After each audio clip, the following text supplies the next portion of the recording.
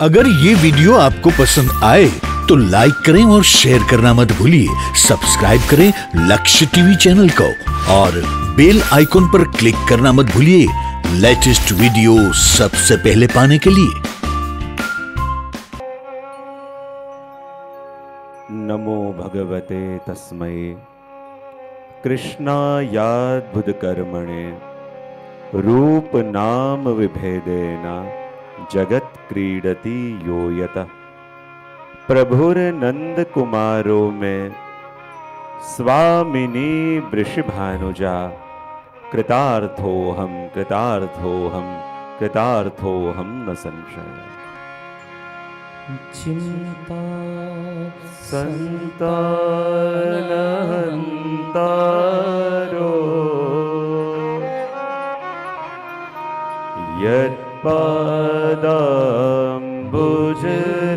यत्पादाम्बुजरेणव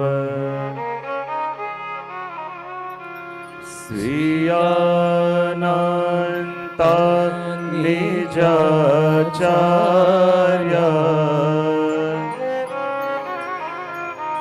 प्रणमामि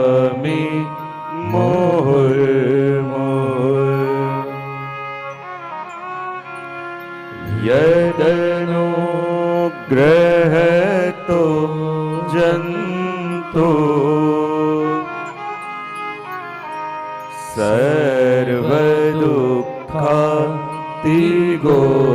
भवे तमहं सर्वदा वन्दे। श्री श्रीमद्वल्लभनन्दनम्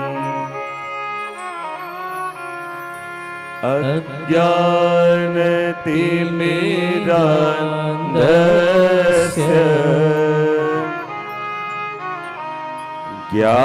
ज्ञानाञ्जन शलाकया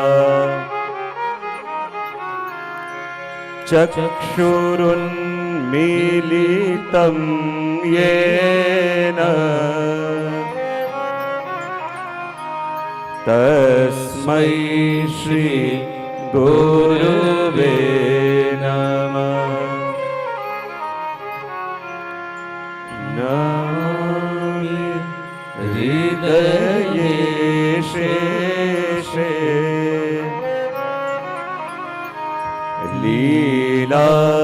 लीलाक्षीराभिषायनम् लक्ष्मी सहस्रलीलाभि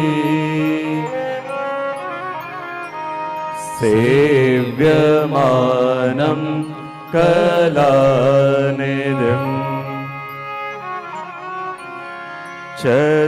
चतुर्भिश्च चतुर्भिश्च।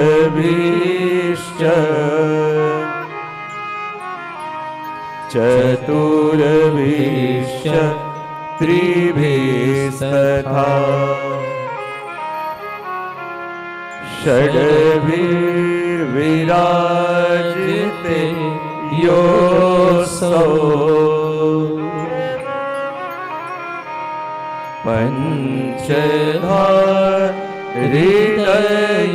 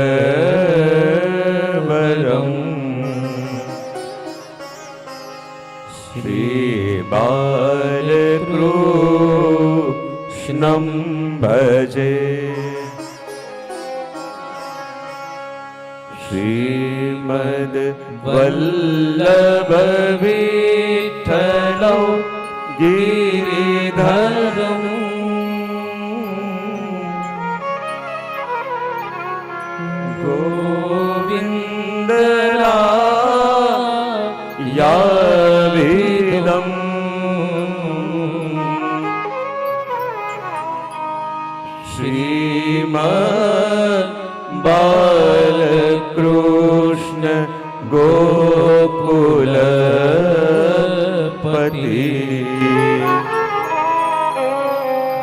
नाथं रघुणास्तथा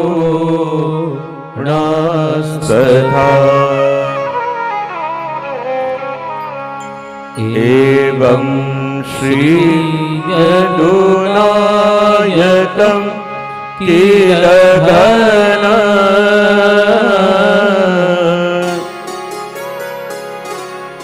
શ્યામ ચત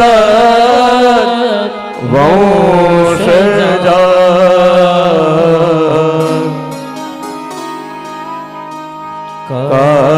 કાલિંદિ સ્વગુરુમ ગિરિ ગુરુ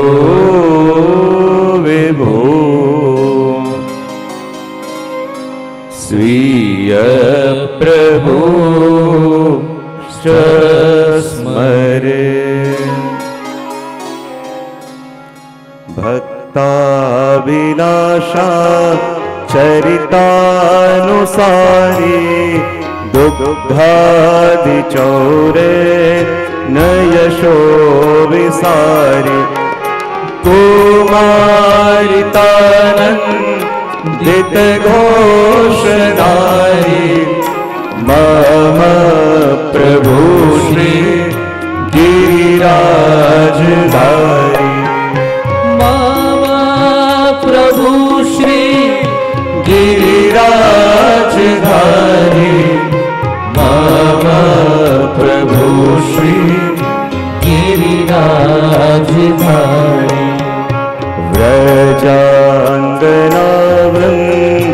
દસરા વિહારી અંગઈ ગૃહાદા રતમોપહારી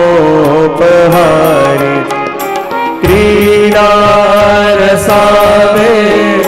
શતમો વિસારી મમ પ્રભુ શ્રી ગિરિરાજધારી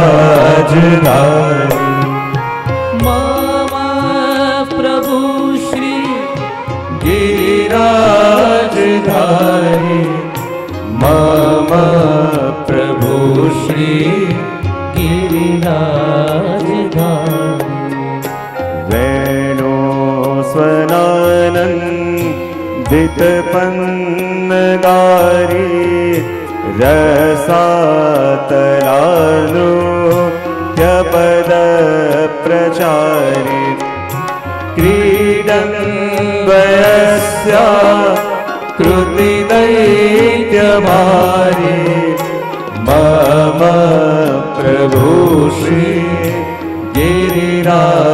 गिरिराजधारी मम प्रभु श्री गिरिराजधारी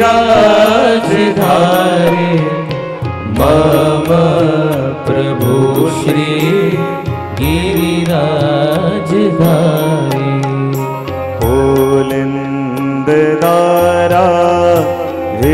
हितशम्बरारी रमा सदोदा हृदया। अगर ये वीडियो आपको पसंद आया हो तो लाइक करें और शेयर करना मत भूलिए। सब्सक्राइब करें लक्ष्य टीवी चैनल को और बेल आइकॉन पर क्लिक करना मत भूलिए। लेटेस्ट वीडियो सबसे पहले पाने के लिए। प्रकारे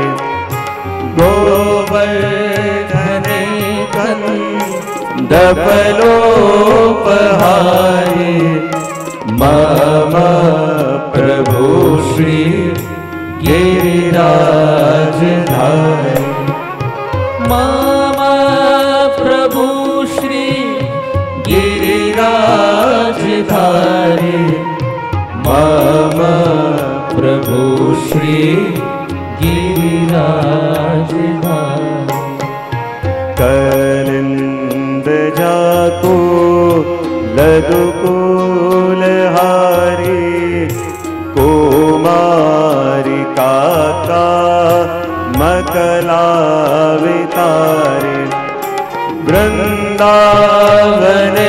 वृंदावने गो धन वृंदचारी मम प्रभु श्री गिरिराजधारी मम प्रभु श्री गिरिराजधारी मम प्रभु श्री गिरिराजधारी व्रजेन्द्र सर्वा शर्मकारी महेन्द्र गर्वा धिक गर्वहारी वृन्दावने दफलोपहारी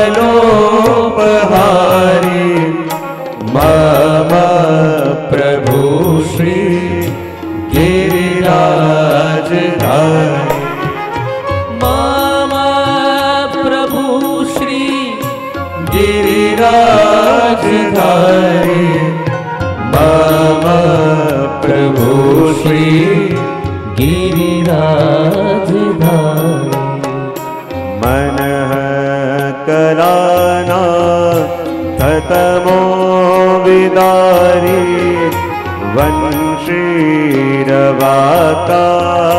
રીતત કુમારી જાસો સબોદ્વે પ્રસાદિ સારી મમ પ્રભુ શ્રી ગિરિરાજ ધારી મમ પ્રભુ શ્રી ગિરિરાજ ધારી મમ પ્રભુ શ્રી ગિરિરાજ ધારી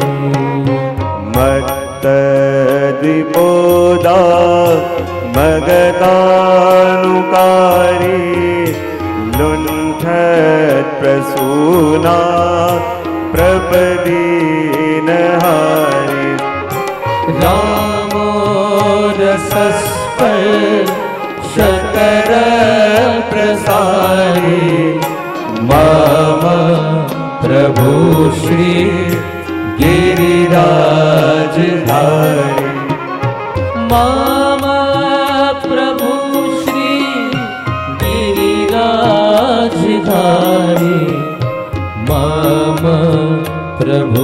श्री गिरिराजधारी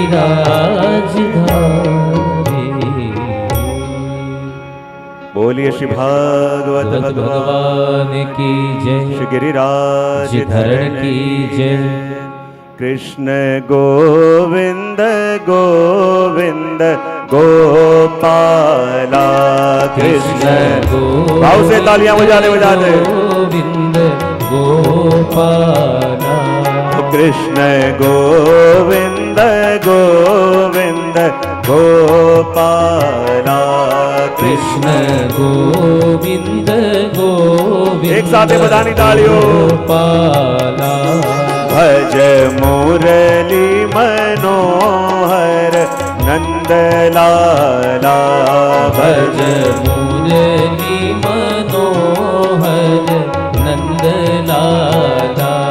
कृष्ण गोविन्द गोविन्द गोपा कृष्ण गोविन्द गोविन्द गोपा कृष्ण गोविन्द गोविन्द गोपाल।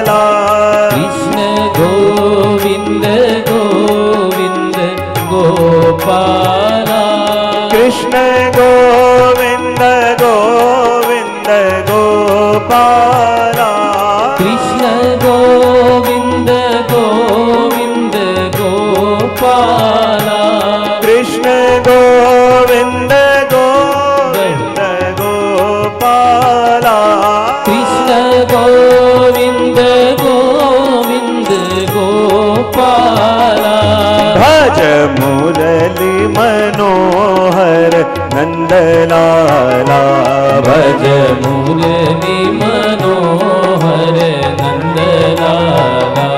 भज मुरली मनोहर नंदलाला भज मुरली मनोहर नंदलाला। भज मुरली मनोहर नंदलाला मूरी मनोहर नन्दलाला भज मुरली मनोहर नन्दलाला। भज मुरली मनोहर नन्दलाला। भज मुरली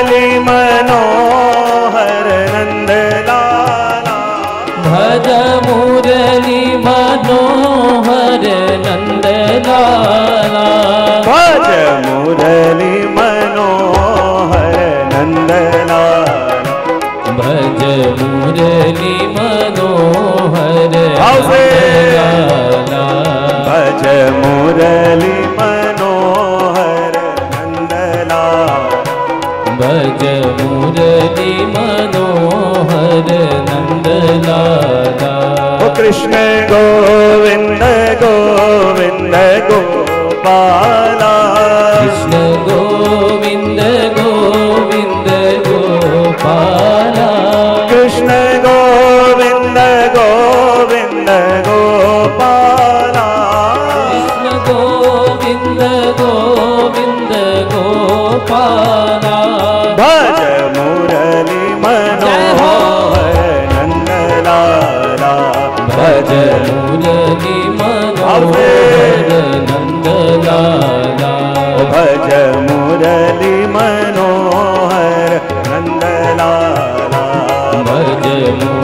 जी मनोहर नंद लाला भज मुरली मनोहर नंद लाला भज मुरली मनोहर नंद लाला नंद लाला भज नंद लाला आनंद लाला आनंद लाला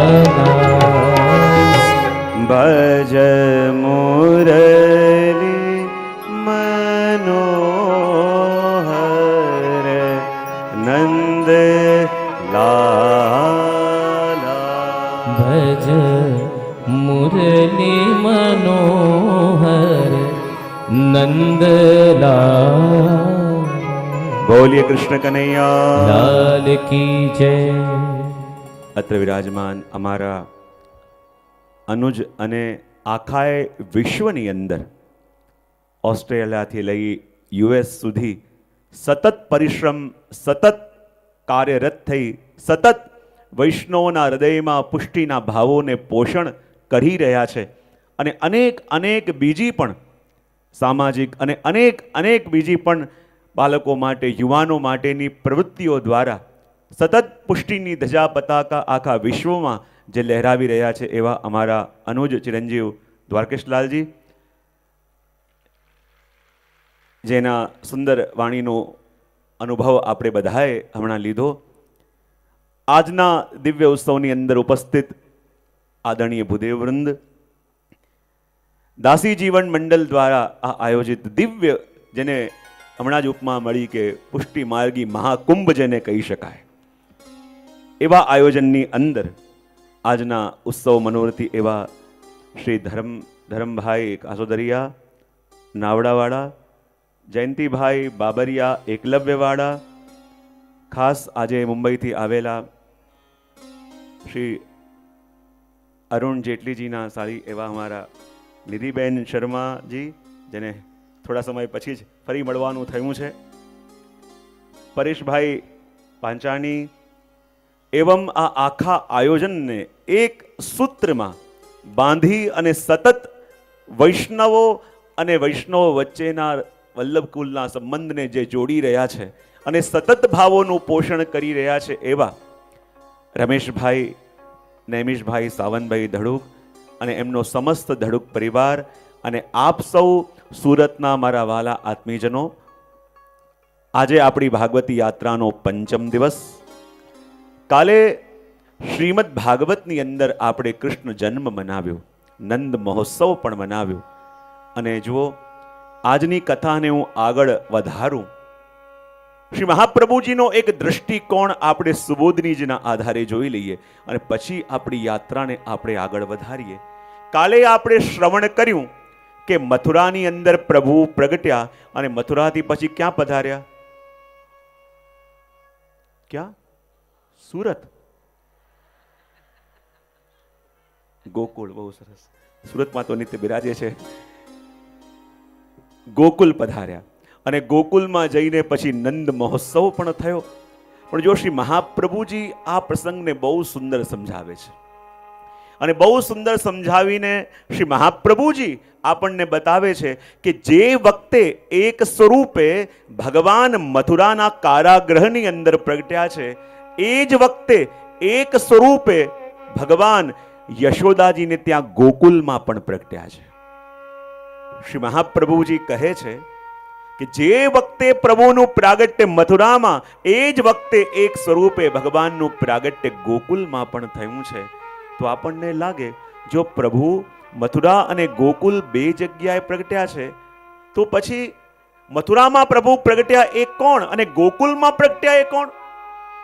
અને જો બે સ્વરૂપો બે જગ્યાએ પ્રગટ્યા, તો જ્યારે વસુદેવજીએ પ્રભુને મસ્તક પર પધરાવી ગોકુળ લઈને ગયા, તો યશોદાજીને ત્યાં પ્રભુના દર્શન એમને કેમ ન થયા? તો કહે, ગોકુલમાં જે પ્રભુ પ્રગટ્યા, એ યોગ માયા સાથે પ્રગટ્યા છે. અને મથુરામાં પ્રગટેલા એ પ્રભુને લઈને જ્યારે વસુદેવજી ગોકુલમાં પધાર્યા અને ગોકુલમાં યશોદા મૈયાની પાસે પ્રભુને પધરાવ્યા, તો મથુરામાં પ્રગટેલું એ સ્વરૂપ, ગોકુલમાં પ્રગટેલા સ્વરૂપની અંદર વિલીન થયું. તો કહેવાય, મથુરામાં જે પ્રભુ પ્રગટ્યા એ કોણ? અને ગોકુલમાં પ્રગટ્યા એ કોણ? તો કહેવાય મથુરામાં પ્રગટ્યા એ પ્રભુ ધર્મ વિશિષ્ટ સ્વરૂપ. કયું સ્વરૂપ? બોલવામાં જરાય વાંધો નહીં. અને ગોકુલમાં જે પ્રભુ પ્રગટ્યા એ કોણ બોલે? મૂળ ધર્મી સ્વરૂપ. કોણ? મૂળ ધર્મી સ્વરૂપ. અને જુઓ, આપણે ત્યાં એમ કહેવામાં આવે છે કે મથુરામાં પ્રગટેલું સ્વરૂપ અને ગોકુલમાં પ્રગટેલું સ્વરૂપ જ્યારે વસુદેવજી પ્રભુને પધરાવીને ગયા ત્યારે એક થયું તો મથુરામાં જે પ્રભુ પ્રગટ્યા, એમણે કઈ લીલા કરી? અને ગોકુલમાં પ્રગટ્યા, એમણે કઈ લીલા કરી? તો આપણે ત્યાં કહેવાય છે કે મથુરામાં જે સ્વરૂપે પ્રભુ પ્રગટ્યા, તો જેટલા પણ રાક્ષસોને માર્યા, જેટલા પણ દૈત્યોને માર્યા, એ કયા સ્વરૂપે માર્યા? જે સ્વરૂપ મથુરામાં પ્રગટ્યું છે. અને ગોકુલમાં પ્રગટેલા સ્વરૂપે માત્ર રાસ લીલા કરી છે. અને એમ કહેવાય છે કે જ્યારે અક્રૂરજી પ્રભુને લેવા માટે વ્રજમાં આવ્યા અને અક્રૂરજીની સાથે જે સ્વરૂપ વ્રજ છોડીને મથુરા ગયું, એ એ જ સ્વરૂપ હતું જે મથુરામાં પ્રગટ્યું હતું. બાકી વ્રજમાં પ્રગટેલા પ્રભુ વ્રજને છોડીને ક્યારે પણ બહાર ગયા જ નથી. એ સદા વ્રજમાં બિરાજે છે. તો આપણને લાગે કે એનું પ્રમાણ ભાગવતમાં પણ ખરો? તો જ્યારે નંદ મહોત્સવનું વર્ણન કરવામાં આવે, તો શુકદેવજી શું કહે?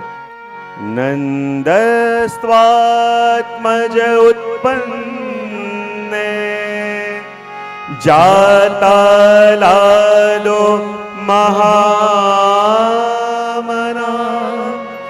આહોય વિપ્રાન વેરજ્ઞાન સ્નાત શુચિ કૃત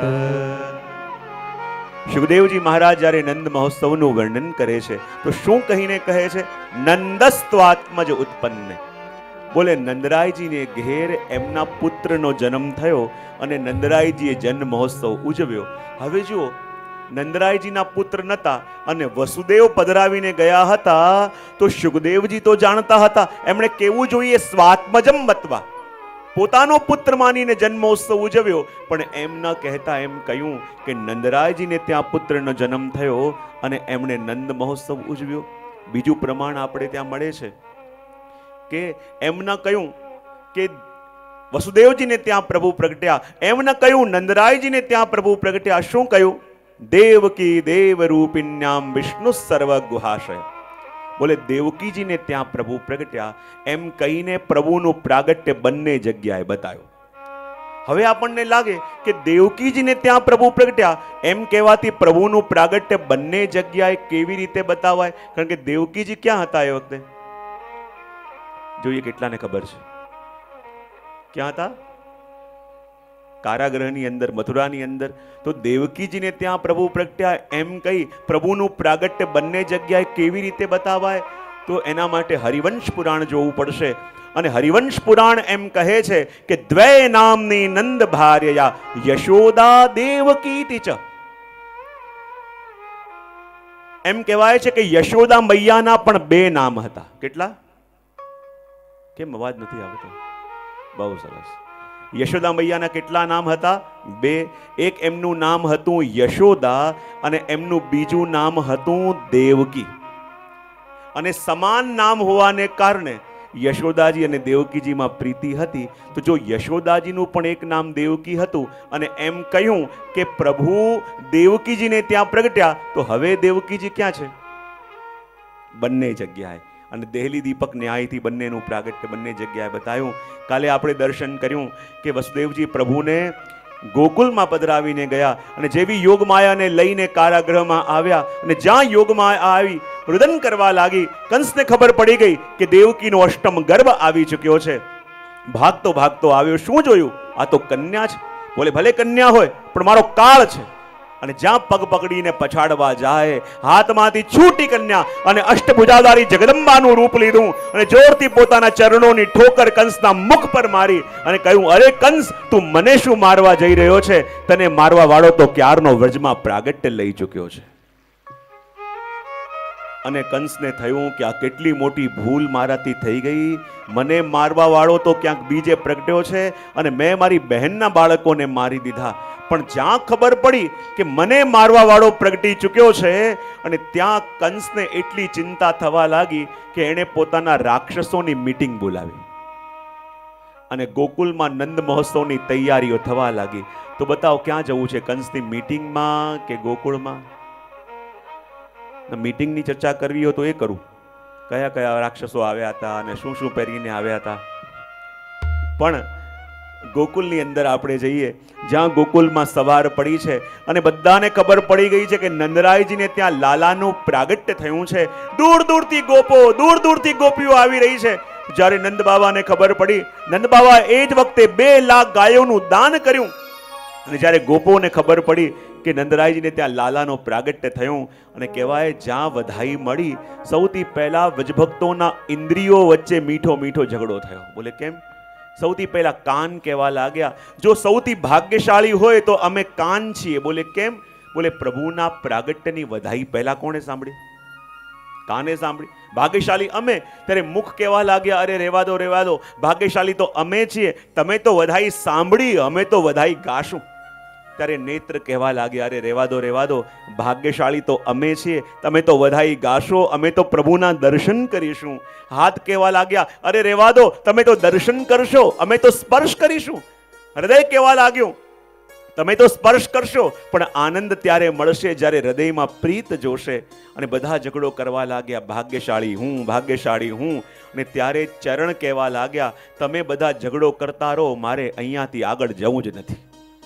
અને બધી ઇન્દ્રિયો હાથ જોડીને આવી અને કહે, અરે ચરણ દેવતા, અરે ચરણ દેવતા, સૌથી મોટા તો તમે છો. તમે લઈને જશો તો નંદ મહોત્સવમાં પહોંચાશે. ને જ્યાં વિનંતી કરી અને પગમાં એવો ઉત્સાહ આવી ગયો, ભાગતા ભાગતા ગયા અને નંદાલયમાં જઈને નાચવા લાગ્યા અને કહેવા લાગ્યા નંદ ઘેરા નંદ ભયો જય કનૈયા લાલ કી નંદ ઘેરા નંદ ભયો જય કનૈયા લાલ કી આનંદ આનંદ ભયો જય કનૈયા લાલ કી આનંદ આનંદ ભયો જય કનૈયા લાલ કી નંદ ઘેરા નંદ ભયો જય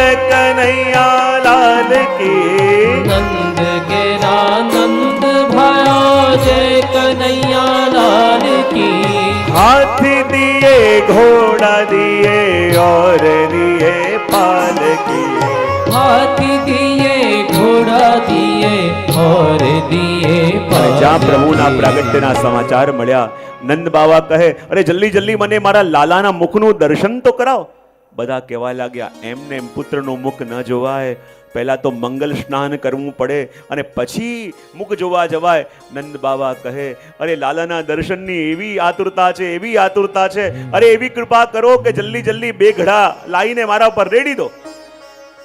બધા કે એમને એમ નહીં ચાલે, પહેલા મંગલ સ્નાન કરવું પડશે, પણ ક્યાંક નંદબાવા બોલવા જાય. ચાર ગોપ ભાગતા ભાગતા આવ્યા, બે નંદ બાવાના ચરણ પકડ્યા, બે બે હસ્ત પકડ્યા, ભાગતા ભાગતા લઈ ગયા, સીધા યમુનાજીમાં પધરાયા અને બધા કહેવા લાગ્યા, નંદ ઘેરા, નંદ ભયો, જય કનૈયા નંદ ઘેરા, નંદ ભયો, જય કનૈયા हाथी दिए घोड़ा दिए और दिए पाल के हाथी। दिए घोड़ा दिए और दिए पाल के हाथी दिए घोड़ा दिए। और दिए पाल की हाथी दिए घोड़ा दिए। और दिए पाल की। अच्छा आखा वजनी अंदर समाचार पहुँची गया कि नंद ભવનની અંદર લાલાનું પ્રાગટ્ય થયું છે અને દૂર દૂરથી ગોપીઓ, દૂર દૂરથી ગોપ દૂધ દહીંની મટકી લઈ લઈને આવવા લાગી. અને નંદ બાવા તો એટલું લૂંટાવી રહ્યા છે, એટલું લૂંટાવી રહ્યા છે કે લેતા લેતા લોકો થાક્યા, પણ આપતા આપતા નંદ બાબા થાકતા નથી. ને ત્યાં જ નંદ બાબા ચાંદીના વાસણો લૂંટાવતા હતા. ત્યાં એક ગોપી આવી અને એ ચાંદીના વાસણોનો ઝોલો ભરી અને જવા લાગી. રસ્તામાં બીજી સખી મળી અને કહે, અરે સખી, શું લઈને આવી રહી છે? બોલે, નંદ બાબા ચાંદી વાંટતા હતા, ચાંદી એ લઈને આવું છું. બોલે, ચાંદી લઈને આવી ગઈ? હવે તો નંદ બાબા સોનું વાંટે છે, સોનું. બોલે, અચ્છા, આ પકડતું હું હમણાં આવી. ભાગતી ભાગતી ગઈ.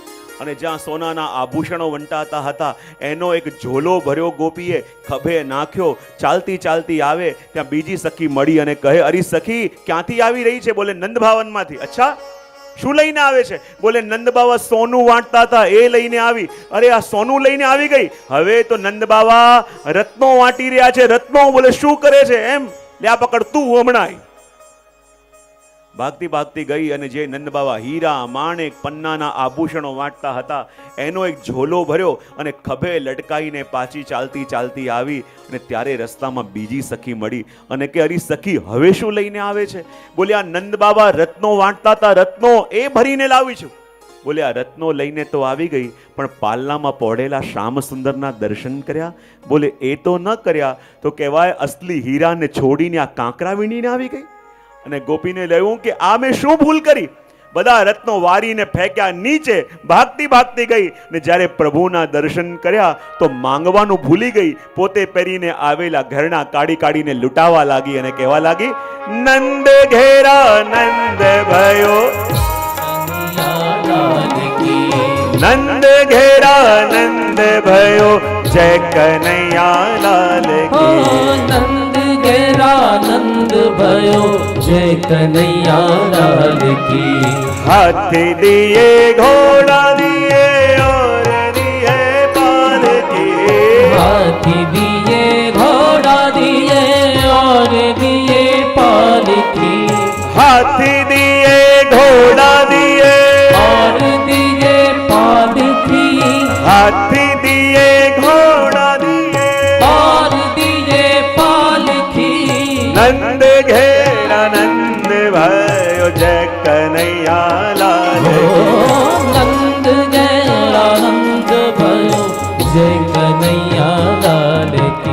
કહેવાય છે કે નંદ બાવા એટલું લૂંટાવે છે, એટલું લૂંટાવે છે કે મેળવી મેળવીને સખાઓ પણ થાક્યા.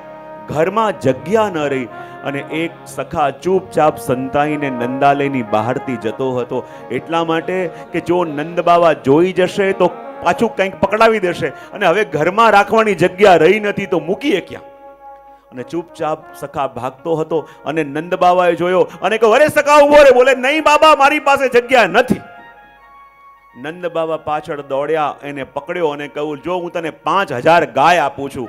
પેલો કે, અમારે ખાવાના ફાંફા છે, આ પાંચ હજાર ગાયને રાખીશ ક્યાં? બોલે, એની ચિંતા ન કર, બધો ખર્ચો હું આપીશ, પણ તને પાંચ હજાર ગાય દાનમાં જ આપી પેલો ચૂપચાપ ચાલતો ચાલતો ઘરે આવ્યો. તો એની પત્નીએ કહ્યું, અરે, તમે કંઈક સાંભળ્યું છે કે નંદ બાવાને ત્યાં લાલાનું પ્રાગટ્ય થયું બોલે? આ સાંભળ્યું છે ને? અરે, આખા ગામ ત્યાં બધાઈ લેવા માટે જાય છે. તો તમે પણ ચાલો ને, આપણે જઈએ. બોલે, હું બધાઈ લઈને જ આવ્યો છું. બોલે, અચ્છા, બતાવો તમારો ઝોલો. ઝોલામાં જોવા લાગી. ત્યારે પેલો સખા કહે કે, એવી વધાઈ મળી છે કે આ ઝોલામાં માવે એવી નથી. બોલે, શું વધાઈ લઈને આવ્યા? બોલે, નંદ બાવાએ પાંચ હજાર ગાયો દાનમાં આપી. અને પેલી સખીનો ચહેરો ચડી ગયો. શું વાત કરો છો? શું આપ્યું? પાંચ હજાર ગાય અને તમે લઈ આવ્યા? અરે, આપણે ખાવાના ફાંફા છે. પાંચ હજાર ગાયને રાખશે કોણ? સાચવશે કોણ? એને બાંધશે ક્યાં? બોલે, બધી વ્યવસ્થા નંદ બાવા કરશે. પેલી સખી ગુસ્સે થઈ ગઈ કે આ પાંચ હજાર ગાયને હું રાખવાની જ નથી. હમણાં ને હમણાં જઈને આપી આવ. કોણ સાચવશે? પેલો સખા કે આટલા પ્રેમથી આપ્યું છે તો કેમ પાછું આપી? બોલે, હું કંઈ સાંભળવા તૈયાર નથી. હમણાં ને હમણાં આપી આવ. અને પેલી માંગવા તૈયાર નથી. તેનો પતિ કે, હવે કેવું શું? એ કહે કે, જ્યારે નંદ બાવા આપતા હતા, તો મેં તો ચોખ્ખી ના પાડી દીધી. તો પછી લઈને કેમ આવ્યા? એક વિચાર આવ્યો ને એટલે લઈને આવ્યો. બોલે, શું વિચાર આવ્યો? મને લાગ્યું આ પાંચ હજાર ગાય મળી છે ને તેમાંથી પાંચ અઢીસો, અઢી હજાર ગાય તારા ભાઈને ત્યાં મોકલીએ અને બાકીની અડધી તારા જીજાજીને ત્યાં મોકલીએ. અને પેલી તો એવી રાજી થઈ ગઈ, હજી એક આંટો મારી આવો બીજી મળતી હોય તો.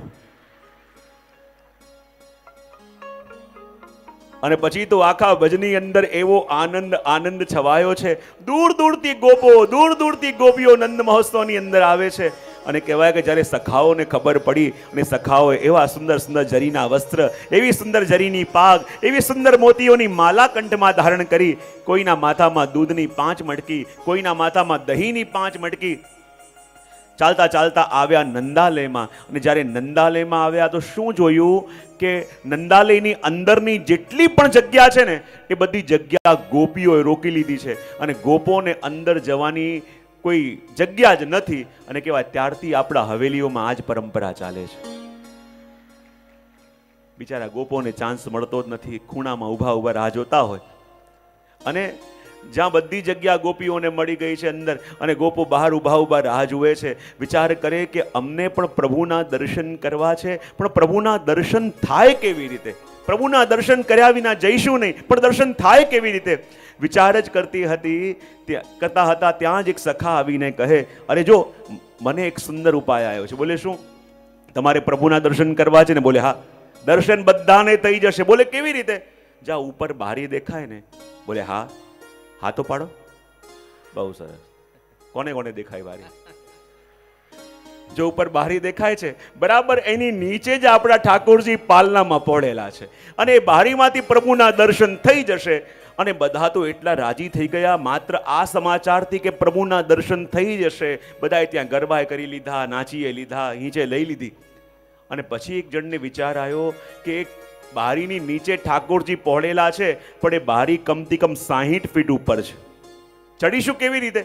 એક સખા કે એમાં શું થઈ ગયું? એક સખા ઘોડો બને, એની ઉપર બીજો, એની ઉપર ત્રીજો, એની ઉપર ચોથો, એની ઉપર પાંચમો, એમ કરતા કરતા પ્રભુના દર્શન થઈ જશે.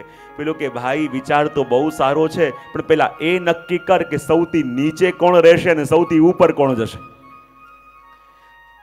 સૌથી ઉપર જશે, એને તો પ્રભુના દર્શન થશે અને સૌથી નીચે રહેશે બિચારાની ચટણી બનવાની છે. અને નીચે રહેવા કોઈ તૈયાર નહીં. બધા કે, અમે ઉપર જઈને દર્શન કરીએ, અમે દર્શન કરીએ. અને કોઈ નીચે રહેવા તૈયાર નહીં. ત્યારે કહેવાય કે સખાઓને એટલો તાપ થવા લાગ્યો, એટલો તાપ થવા લાગ્યો, તો એમાં એક સખા આગળ આવ્યો અને કહે કે, ભલે હું નીચે રહેવા તૈયાર છું, ભલે મને દર્શન ન થાય, પણ તમને બધાને દર્શન થશે. તો મને લાગશે કે મને પણ દર્શન થઈ ગયા.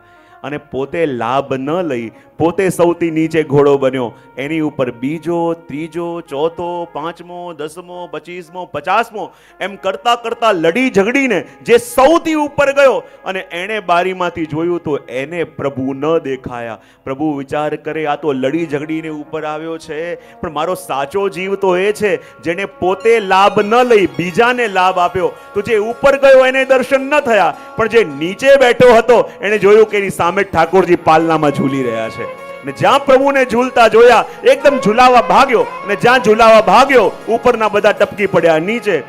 અને દહીં માખણ હતું, લઈ લઈને એકબીજાના ચહેરામાં મળવા લાગ્યા અને કહેવા લાગ્યા નંદ ઘેરા નંદ ભાયો જય કનૈયાલાલ કી નંદ ઘેરા નંદ ભાયો જય કનૈયાલાલ કી હાથી દીએ ઘોડા દીએ પાલકી પાલકી હાથી દીએ ઘોડા દીએ પાલકી પાલકી નંદ ઘેરા નંદ જય ભાયો કનૈયાલાલ કી આનંદ આનંદ જય ભાયો કનૈયાલાલ કી નંદ ઘેરા નંદ જય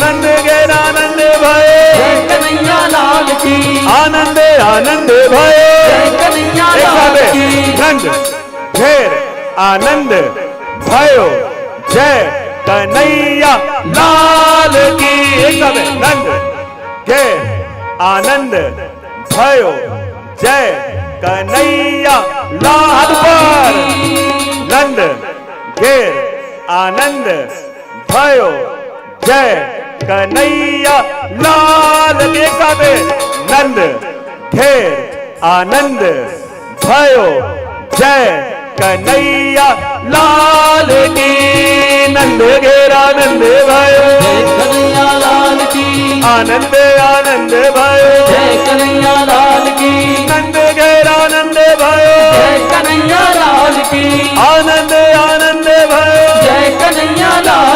કનૈયાલાલ કી નંદ ઘેર આનંદ ભયો જય કનૈયાલાલ કી આનંદ આનંદ જય ભયો કનૈયાલાલ કી આનંદ આનંદ ભયો જય કનૈયાલાલ કી નંદ ઘેર આનંદ ભયો જય કનૈયાલાલ કી આનંદ આનંદ ભયો જય કનૈયાલાલ કી નંદ ઘેર આનંદ ભયો જય કનૈયા લાલ કી ઘેર આનંદ ભયો જય કનૈયા લાલ કી નંદ ઘેર આનંદ ભયો જય કનૈયા લાલ કી નંદ ઘેર આનંદ ભયો જય કનૈયાલાલ કી આનંદ આનંદ ભયો જય કનૈયાલાલ કી આનંદ આનંદ ભયો જય કનૈયાલાલ કી નંદ ઘેર આનંદ જય કનૈયા લાલ કી આનંદ આનંદ ભયો જય કનૈયાલાલ કી આનંદ આનંદ ભયો જય કનૈયાલાલ કી આનંદ આનંદ ભયો જય કનૈયાલાલ કી નંદ ઘેર આનંદ ભયો જય કનૈયાલાલ કી આનંદ આનંદ ભયો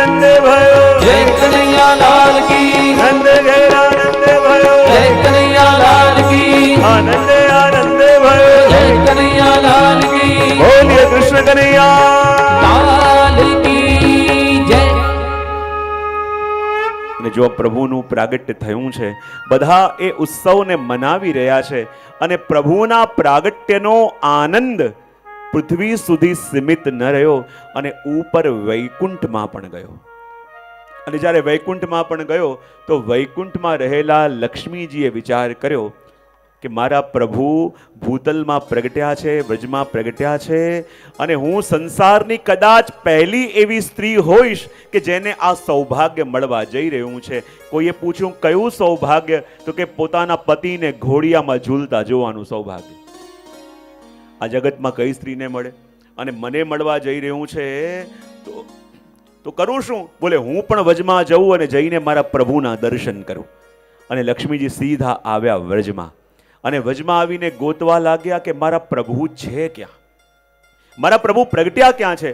કારણ કે વ્રજના પ્રત્યેક ઘરને એટલું સુંદર સજાવવામાં આવ્યું છે, એટલું સુંદર સજાવવામાં આવ્યું છે કે એવું લાગે છે કે પ્રભુનું પ્રાગટ્ય માત્ર નંદાલયની અંદર નહીં, પણ વ્રજના પ્રત્યેક ઘરની અંદર પ્રભુ પ્રગટ્યા હોય. અને જ્યાં આવું સુંદર સ્વરૂપ દરેક ઘરનું જોયું, વિચાર કરે છે, ક્યાં પ્રભુ પ્રગટ્યા હશે, ક્યાં પ્રગટ્યા હશે? ત્યાં જ એમની દૃષ્ટિ પડી એક સુંદર નવા ભવ્ય મકાનની અંદર. અને લક્ષ્મીજીને લાગ્યું, જરૂર મારા પ્રભુ આમાં પ્રગટ્યા હશે. અને લક્ષ્મીજી સીધા એ ઘરની અંદર ઘૂસ્યા. હવે એ ઘર જેનું હતું, એ ગોપી પ્રભુના દર્શન કરવા જતી હતી. અને જ્યાં પ્રભુના દર્શન કરવા જતી હતી, અને સીધા લક્ષ્મીજી અંદર ઘૂસ્યા, અને પેલી ગોપી કહેવા લાગી, અરે, કોણ છો? બહાર જાઓ બહાર જાઓ બહાર જાઓ. લક્ષ્મીજી ચોંકી ગયા. આખી દુનિયા મને કહે, મારા ઘરમાં આવો, મારા ઘરમાં આવો, મારા ઘરમાં આવો. પણ આ બ્રજની ગોપી એવી કોણ છે કે હું સામે ચાલીને એના ઘરમાં જઉં છું અને એ મને કહે છે, બહાર જાઓ બહાર જાઓ. બિચારીને ખબર નથી હું કોણ છું. જ્યારે જાણશે કે હું સ્વયં લક્ષ્મી છું, કેવી ભાવ વિભોર થઈ જશે. અને કહ્યું અરે સખી, તું જાણે છે કે હું કોણ છું? સખી કે કોણ છો? બોલે, હું લક્ષ્મી છું. બોલે, લક્ષ્મીજી, છો તો વિષ્ણુ પાસે જાઓ. અમારે ત્યાં શું કામ? અમે તો પ્રભુના દર્શન કરવા જઈ રહ્યા છે અને સીધી ગોપી ત્યાંથી ભાગી. અને લક્ષ્મીજી એવા ચોંકી ગયા, એવા ચોંકી ગયા કે પ્રભુ, અહીંયા વ્રજમાં આવીને એક વાત તો આજે હું બરાબર સમજી ગઈ કે વ્રજમાં આવીને પ્રભુ આપ લક્ષ્મીનાથ નથી રહ્યા, અહીંયા આવીને તો આપ ગોપીનાથ થઈ ગયા છો. અહીંયા લક્ષ્મીજી બનીને જઈશ તો મારી દાલ ગલવાની નથી. અહીંયા મારે જો પ્રભુના દર્શન કરવા હોય તો ગોપી બનીને જવું પડશે. અને લક્ષ્મીજીએ સુંદર માલણનું રૂપ લીધું.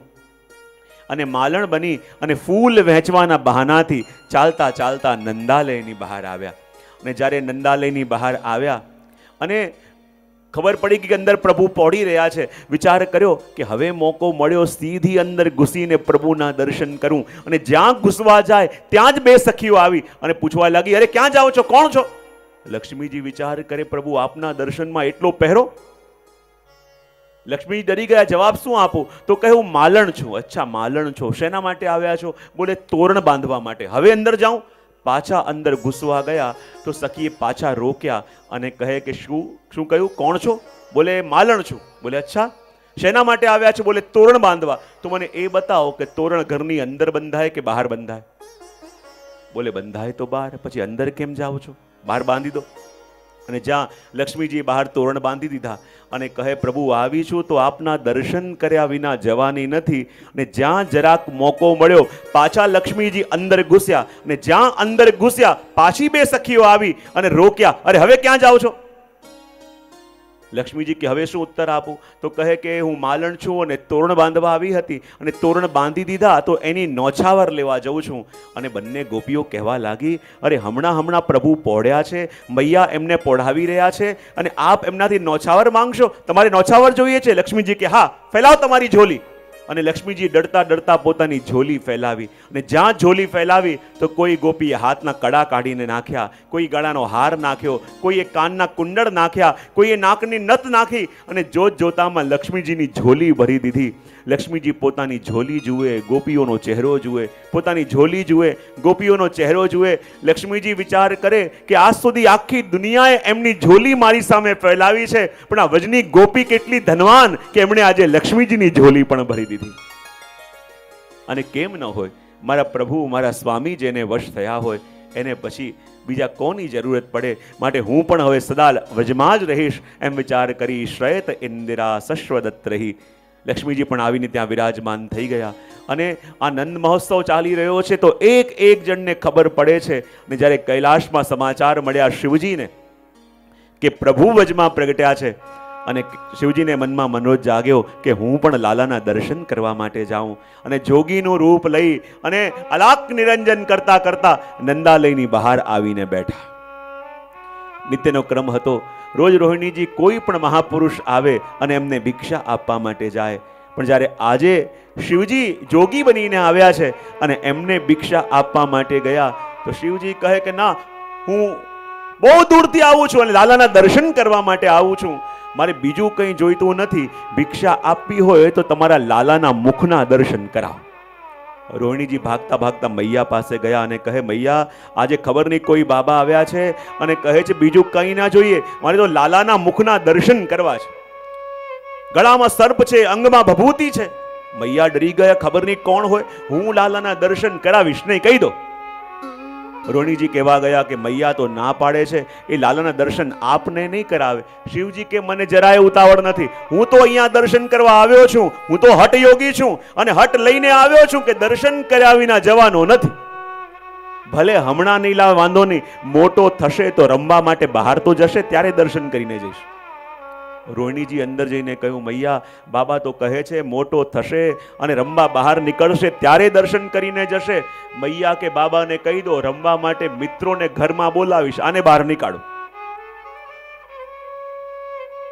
અને જ્યાં આમ જઈને કહ્યું, તો શિવજી કહેવા લાગ્યા, હું પણ હઠ યોગી છું, નક્કી કરીને આવ્યો છું, લાલાના દર્શન કર્યા વિના જવાનો નથી. અરે ભલે હમણાં નહીં લાવ, મોટો થશે તો ભણવા માટે પાછા જશે. ત્યારે હું દર્શન કરીને જઈશ.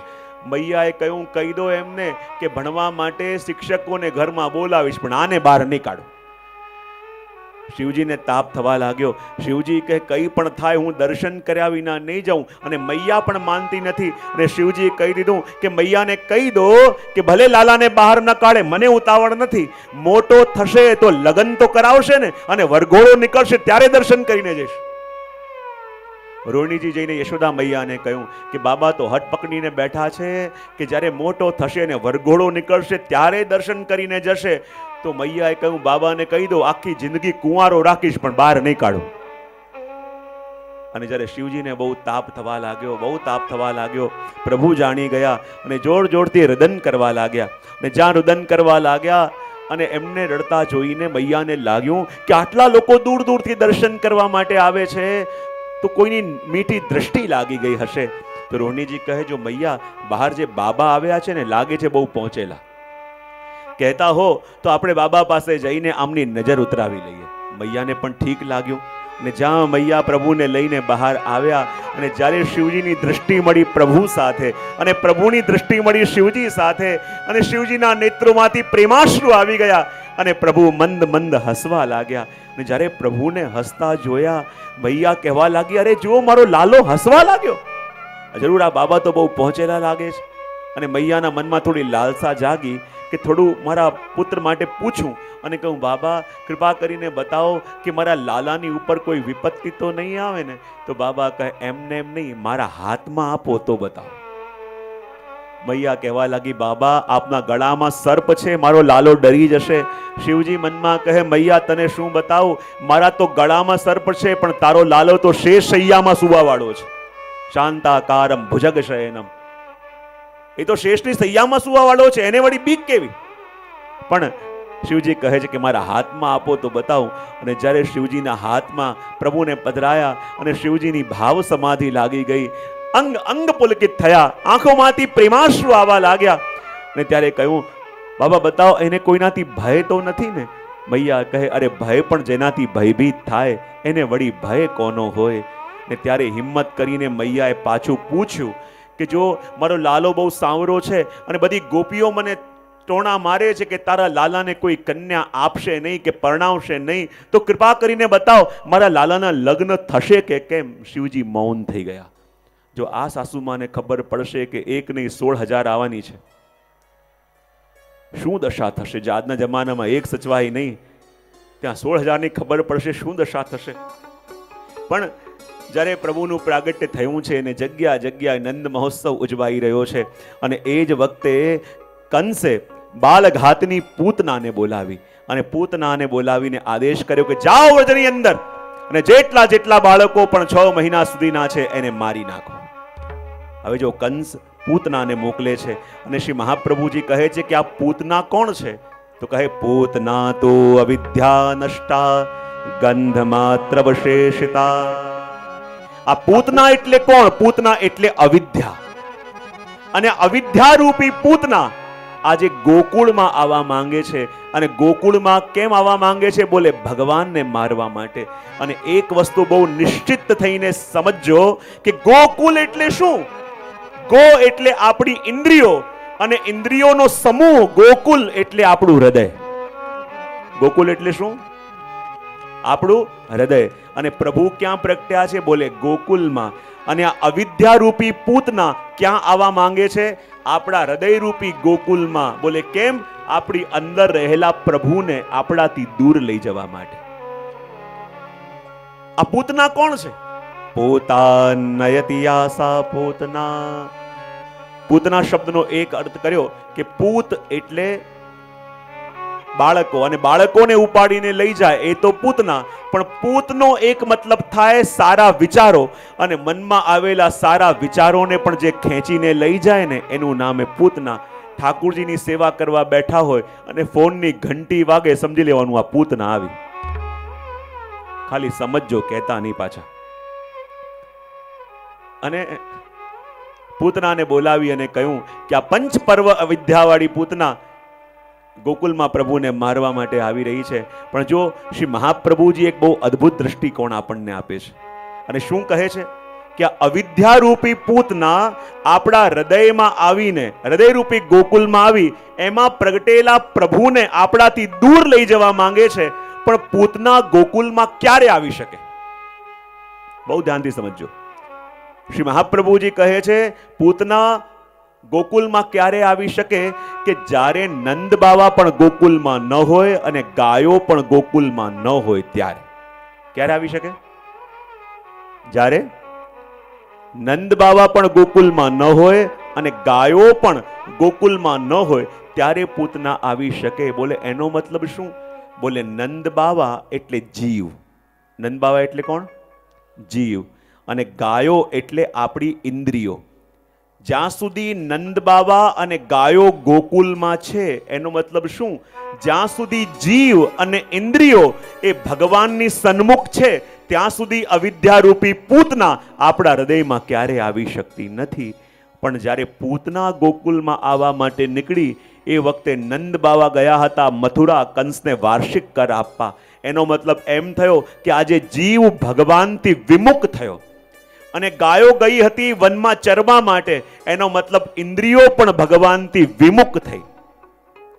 અને જ્યારે જીવ અને ઇન્દ્રિયો ભગવાનથી વિમુખ થાય, ત્યારે અવિદ્યારૂપી પૂતના આપણા હૃદયરૂપી ગોકુલની અંદર પ્રવેશ કરતી હોય છે.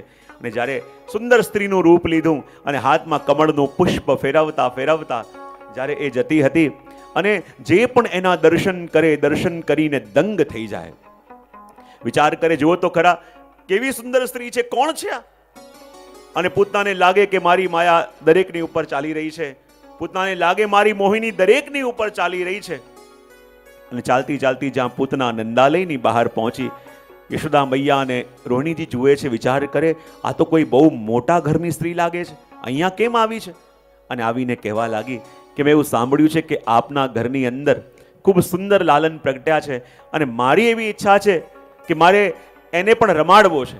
અને મૈયા તો ખૂબ ફૂલાઈ ગઈ કે જો આટલા મોટા ઘરની સ્ત્રી અને મારા લાલાને રમાડવા માટે આવી છે.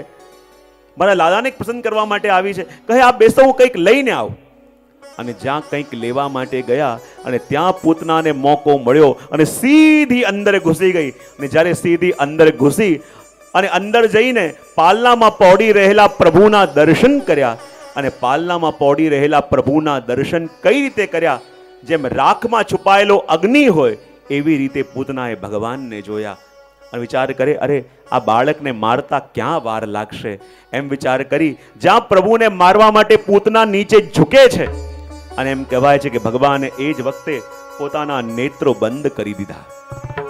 અને જ્યાં પોતાના નેત્રો બંધ કર્યા, તો એનો મતલબ શું? પૂતનાને ભગવાને દ્રષ્ટિનું દાન ના આપ્યું. અને દ્રષ્ટિનું દાન કેમ ના આપ્યું? એના માટે વિદ્વાનોએ અલગ અલગ અર્થો કર્યા છે. અલગ અલગ એના અર્થો આપણા આચાર્યો બતાવે છે કે જ્યારે પૂતના ભગવાનની પાસે આવી છે, તો ભગવાને એને દૃષ્ટિનું દાન કેમ ના આપ્યું? એનું એક કારણ છે. બોલે શું? તો કહેવાય કે જ્યારે પૂતના પ્રભુની પાસે આવી, તો પ્રભુના નેત્રોમાં જ્ઞાન અને વૈરાગ્ય છે.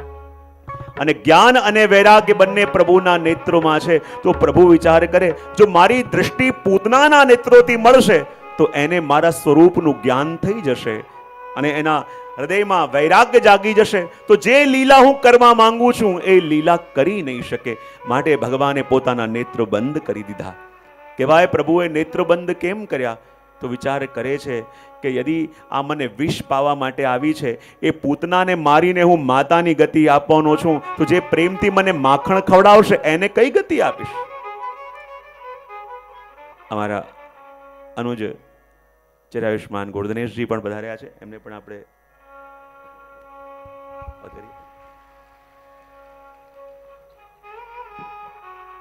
બોલીએ કૃષ્ણ કનૈયા.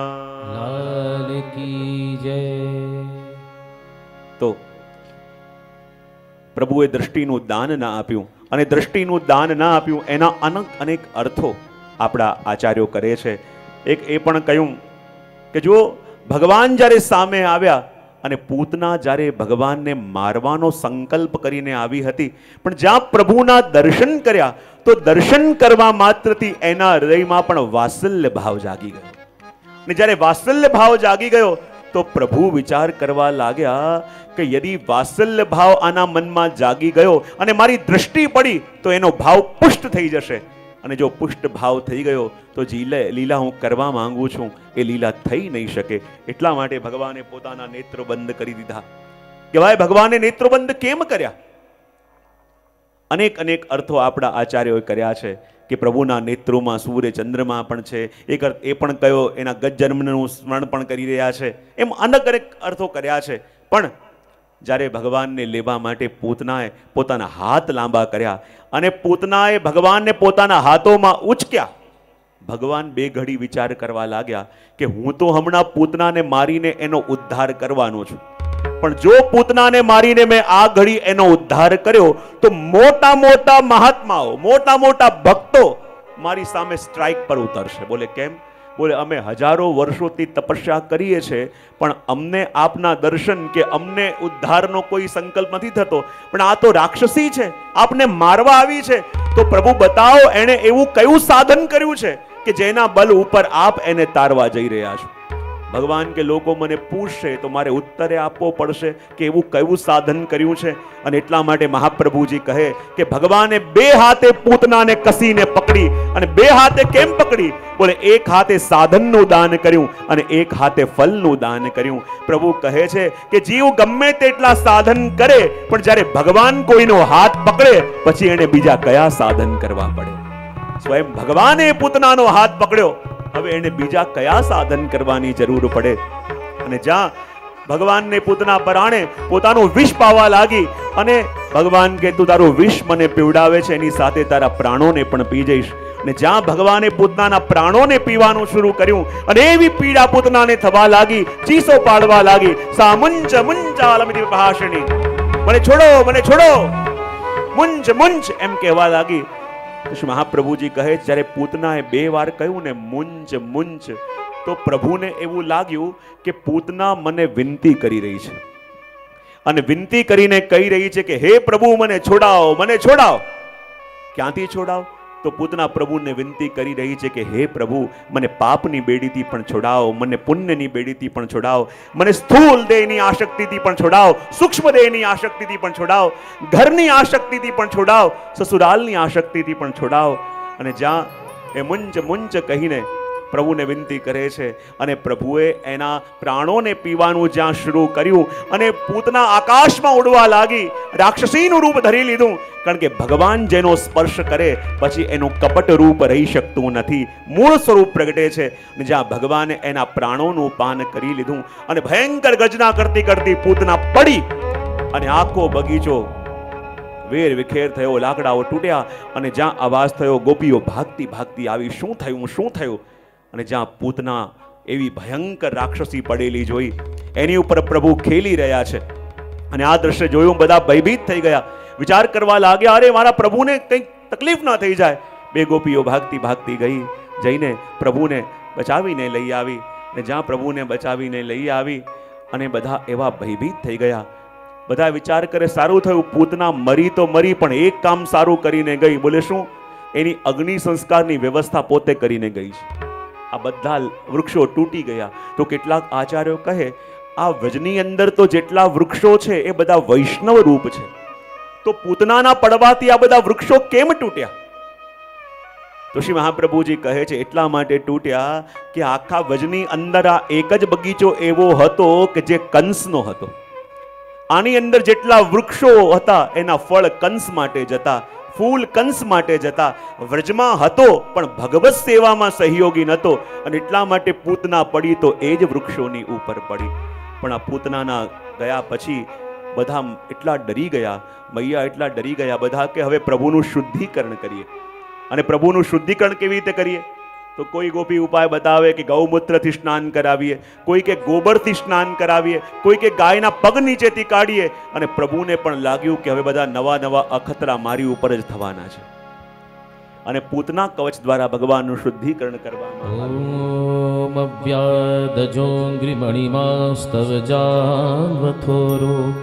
યજ્ઞોચ્યુત કટિતટમ જઠરમ હયાસ્ય રત્કેશવસ્ત્વદુરઈશ ઇનસ્તુ કંઠમ રત્કેશવસ્ત્વદુરઈશ ઇનસ્તુ કંઠમ વિષ્ણુર્ભુજમ મુખમુરુક્રમ ઈશ્વરકમ ભૂતના કવચ દ્વારા ભગવાનનું શુદ્ધિકરણ કર્યું અને એટલા માટે તો કહેવાય છે ને કે ભગવાનનું નામ આપણી રક્ષા તો કરે છે પણ સાથે સાથે ભગવાનની પણ રક્ષા કરે છે अगर ये वीडियो आपको पसंद आया हो तो लाइक करें और शेयर करना मत भूलिए। सब्सक्राइब करें लक्ष्य टीवी चैनल को। हाँ और बेल आइकॉन पर क्लिक करना मत भूलिएगा। लेटेस्ट वीडियो सबसे पहले पाने के लिए।